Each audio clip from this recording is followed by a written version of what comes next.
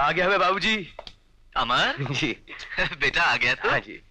और आपके आशीर्वाद से बात पक्की भी हो गई। हाँ अमर बेटा जी। आज तूने मेरी सारी इच्छाएँ पूरी कर दी। जिस लड़की से तेरे योग मिले हैं ना वो लाखों में एक है। आ, मुझे लाखों में एक नहीं लाखों का दहेज लाने वाली बहू चाहिए। आ, सिर्फ़ लड़की देख के आया है दान दहेज की भी बात की? क्या बात करती हो माँ? बहू तो खुद अपने आप में एक दहेज है। और फिर जो अपनी बेटी हमें सौंप रहा है उसके पास हमें देने को बाकी क्या रहा? हाँ। तो क्या तू बिना दहेज के ब्याह करेगा? होने दो क्या? अमर। माँ दहेज मांगना भीख मांगने के बराबर होता है। हाँ। और भीख की रोटी से आदमी ज़िंदा तो रहता है लेकिन उसका जमीर मर जाता है। मेरे हाथों में अभी भी इतनी ताकत है कि मैं खुद कमाकर आप लोगों की सेवा कर सकूँ। हाँ मैं बाबू हाँ हाँ बेटा। अरे भाग्यवान वो पानी तो दे दो। ये लो वो दहेज पर पानी फेर कर आ गया तुम गला कर कर लो। देखो शादी तो तुमने पक्की कर दी है लेकिन उसके खर्च के बारे में भी कुछ सोचा है? मैं तो उस बला पर एक पैसा भी खर्च नहीं करूँगी। पहने हुए कपड़ों में इस चौखट से बाहर नहीं किया तो मेरा नाम भी ममता नहीं। तुम्हारा नाम ममता ज़रूर है माँ। मगर तुम्हारे अंदर ममता जैसी कोई चीज़ ही नहीं। सूरज! ये सब तुम्हारे सर चढ़ाने और बेनतिया लाड़ प्यार करने का असर है। वरना सेठ धनराज के घर के संस्कार ऐसे नहीं थे। किस संस्कार की बात कर रहे हैं आप? सेठ साहब बेटी को बाप के सामने घूंघट निकालना पड़ता है। क्या इस संस्कार की बात कर रहे हैं आप? सूरज! आपकी गाय जैसी बेटी आपके मुँह से बेटी शब्द सुनने के लिए तरसती रहती है या इन संस्कारों की बात कर रहे हैं आप? सूरज! अपनी ही बेटी को अभागन और मनुष्य का नाम देकर ज़िंदगी भर उसे नफरत करते रहे आप या फिर उन संस्कारों की बात कर रहे हैं आप? सूरज! संस्कारों की दुहाई देने का हक सिर्फ़ माँ बाप का होता है सेठ साहब। और माँ बाप बनने के लिए सिर्फ़ औलाद को पैदा कर देना ही काफ़ी नहीं होता।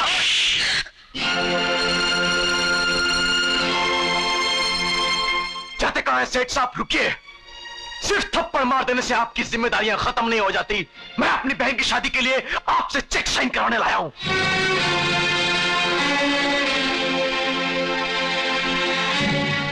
मैंने भीख और खैरात देना बंद कर दिया है। मैं भीख नहीं अपना हक मांग रहा हूँ, सेठ साहब, और जिसके ना मिलने की सूरत में मैं आपको कोर्ट में खड़ा कर दूँगा।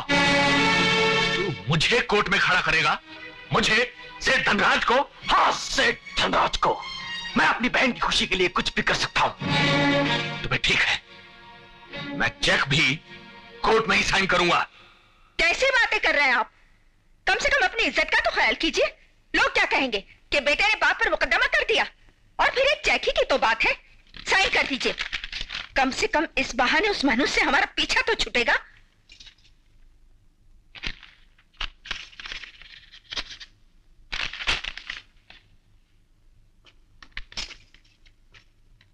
ये ले। मगर इतना याद रखना, आज के बाद तुझे मेरी दौलत में से फूटी कौड़ी भी नहीं मिलेगी। थूकता हूँ मैं आपकी दौलत पर। थूकता हूँ मैं। हाँ सेठ धनराज थूकता हूँ मैं आपकी दौलत ठोकर मारता हूँ मैं ठोकर! लात मारता हूँ मैं! और अगर आज मेरी बहन की शादी ना होती तो मैं आपके सामने कभी नहीं आता! हाँ सेठ धनराज नफरत है मुझे आपकी इस दौलत से! नफरत है!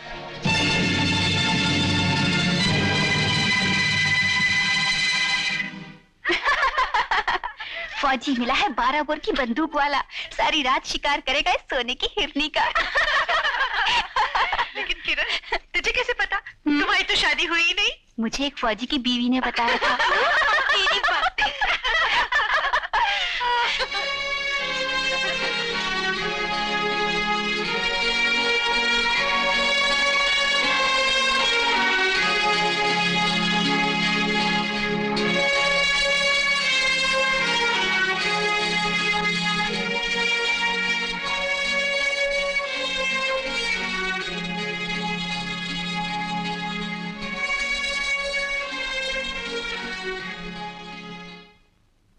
बाबूजी।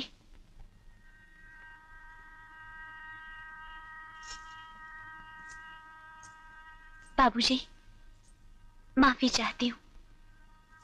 जो बिना आपकी मर्ज़ी आपके सामने आई हूँ। मगर विदाई के क्षण ने आपकी अभागन बेटी के पैरों में इतनी ताकत भर दी कि मैं अपने आप को आपके पास आने से रोक न सकी। मेरे पैदा होते ही आपने मेरा मुँह न देखने का जो प्रण लिया था, वो प्रण न टूटे। इसलिए मैं मैं कभी आपके सामने नहीं आई। आज मैं आपका घर आँगन छोड़कर जा रही हूँ। आपका आशीर्वाद लेने आई हूँ। मगर देखिए देखिए आज भी मेरे मुँह पर घूंघट है। लेकिन ये कर्मों का कैसा लेख है, बाबूजी? कि एक बेटी अपने बाप के सामने घूंघट की ओट में खड़ी है। मुझे आपसे कुछ नहीं चाहिए बाबूजी।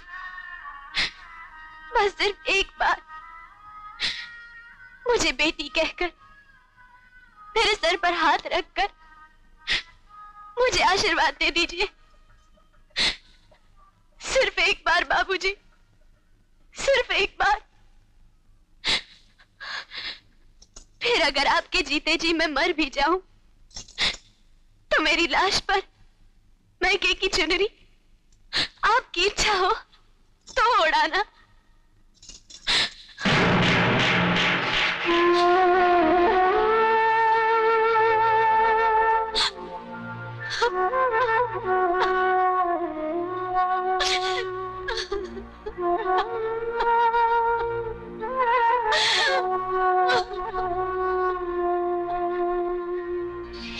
तू इस कंगाल करोड़पति से क्या मांग रही है, दीदी?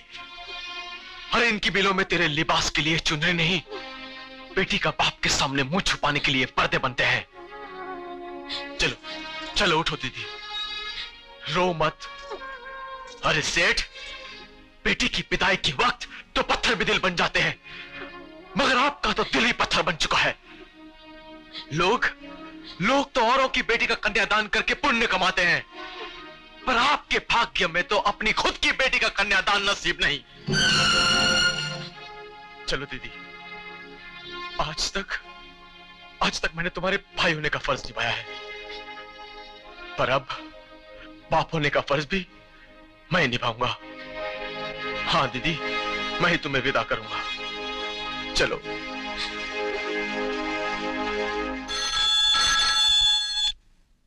सेठ धनराज। मालिक मालिक मिल में आग लग गई है। सब कुछ जलकर राख हो गया। हम कहीं कहीं नहीं रहे। क्या हुआ? मैं पूछती हूँ क्या हुआ? हम बर्बाद हो गए ममता। हाँ? मिल में आग लग गई। सब कुछ जलकर राख हो गया। क्या? हम हम कहीं के नहीं रहे ममता। हम कहीं के नहीं रहे। देख लिया बाबूजी। आज तक आप अपनी जिस बेटी को अभागन और अपशगुन मानते रहे आपका पूरा वजूद उसके पैरों की धूल का मोहताज था। उसे जन्म देकर आपने दिया ही क्या? तिरस्कार घूंघट आंसुओं की सौगात दे देकर आप इतने कठोर हो चुके हैं कि आज विदाई के वक्त आशीर्वाद के दो शब्द बोलने के लिए आपके होठ नहीं हिले। सूरज! तुम मत बोलो माँ टूटे हुए शीशे भी अगर जोड़े जाते हैं तो उनमें दरार पड़ जाती है। मगर आप लोगों ने तो दिल तोड़ा है दिल। अगर मेरी बहन अभागन होती तो उसके पैदा होते ही आप मिल मजदूर से मिल मालिक नहीं बन जाते। आज आपके पास जो कुछ भी था उसके पैरों के प्रताप से अरे आपका भाग्य विधाता ने आपके माथे पर नहीं, लक्ष्मी के पैरों के तलवे में लिखा था। शायद इसीलिए उसके इस चौकट से बाहर कदम रखते ही आपका सब कुछ जलकर राख हो गया और आपके जीवन में अंधेरा हो गया।